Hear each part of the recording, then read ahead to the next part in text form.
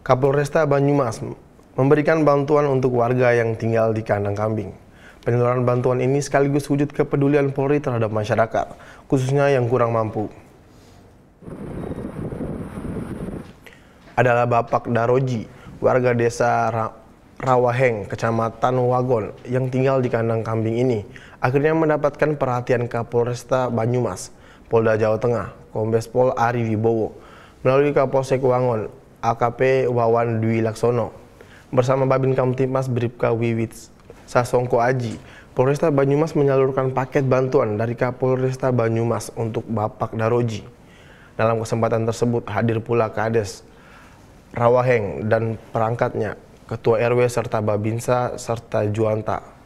Kapolsek Wangon mengungkapkan adapun paket bantuan yang diberikan serupa sembako. Sementara itu pihak pemerintah desa Rawaheng juga melaksanakan iuran untuk Bapak Daroji agar dapat dibangun gebuk yang layak huni yang dibangun di atas tanah milik warga atau menumpang.